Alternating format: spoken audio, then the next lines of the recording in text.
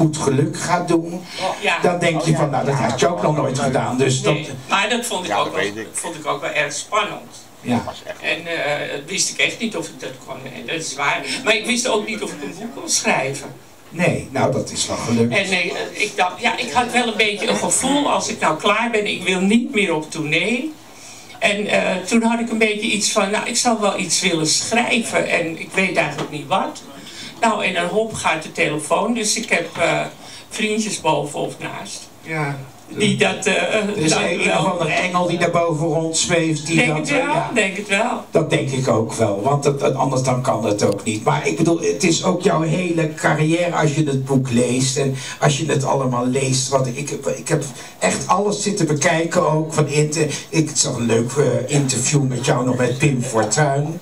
Ja, Dan denk ik van, nou, hoe komt die vrouw nou weer bij die man terecht in zo'n? Ja, hoe krijg je dat was zo leuk.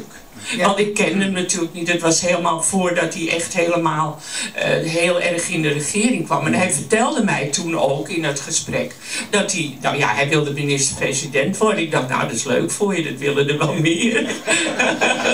maar ja, ik, ik kende hem niet en hij begon eigenlijk ook net. Ja, hij was waarschijnlijk al lang bezig met het idee en met, met, met studeren enzovoort. Maar eh, het, het mooiste was, en over haar eigenlijk, dat het decor bestond allemaal uit doodkisten. Ja, ja, dat is ja, toch ja. ook gek? Ja. ja, maar je hebt ook in het programma De Kist Ja, de, gezeten. de achtergrond was allemaal doodkisten. Maar je hebt ook in het programma De Kist gezeten. Ja, Ja, ook zoiets. Ja, dan denk ik van, maar hoe, waar begin je aan? ja, maar dat hoeft er niet in te liggen.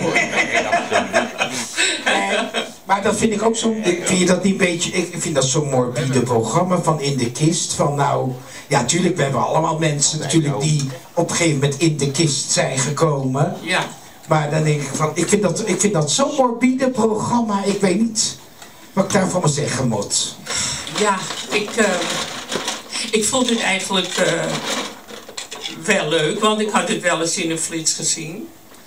Maar ehm, er- er was iets mee dat ik iets. Hoe was het nou toch?